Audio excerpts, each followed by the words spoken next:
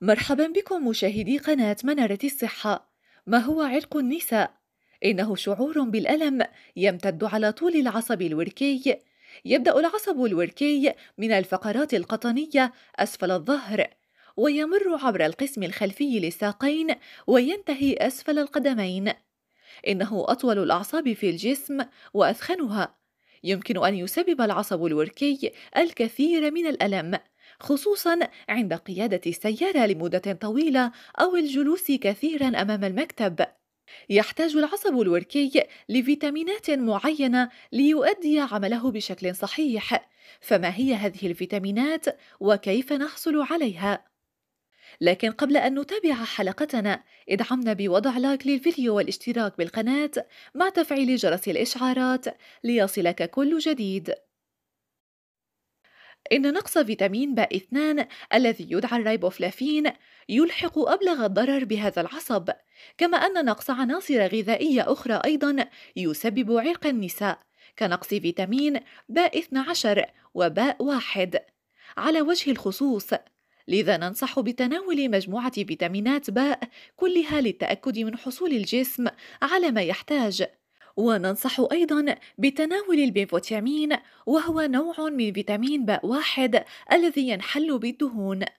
يعد البنفوتيامين ذا فائدة كبيرة لحالات الاعتلال العصبي المحيطي أي الألم في أسفل القدمين. سأخبركم بأعراض أخرى لنقص فيتامين باء 2 واحد الاعتلال العصبي المحيطي أي تلف الأعصاب المحيطية أي أعصاب الذراع أو الساق. اثنان ضعف الأطراف.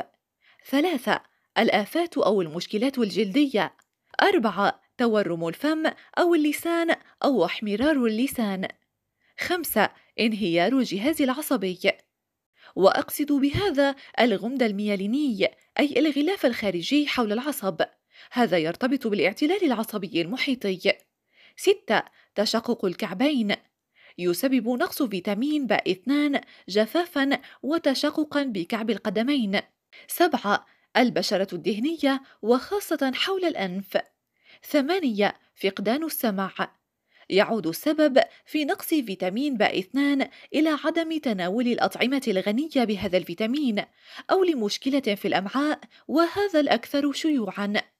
مشكلات الأمعاء مثل تلف الأمعاء أو الداء البطني أو داء كرون أو الرداب القولوني أو نوع من سوء الامتصاص في الأمعاء الغليظة أو الدقيقة. يمكن لتناول مجموعة من المضادات الحيوية أن تدمر القدرة على امتصاص العناصر الغذائية، لهذا قد يصاب الشخص بنقص باء 2 والحل هو زيادة تناول فيتامين باء 2 بكثرة ليتمكن الجسم من امتصاصه بالقدر المطلوب. إليكم الأطعمة الغنية بفيتامين باء 2 الكبد لحم البقر المحار وأنواع أخرى من المحاريات الفطر المكسرات الجبنة والبيض السمك والخضار الخضراء. وفي الختام ندعوك لمشاركة هذا الفيديو عبر مواقع ومنصات التواصل الاجتماعي. فمعلومة واحدة قد تنقذ إنسانا. والسلام عليكم ورحمة الله تعالى وبركاته.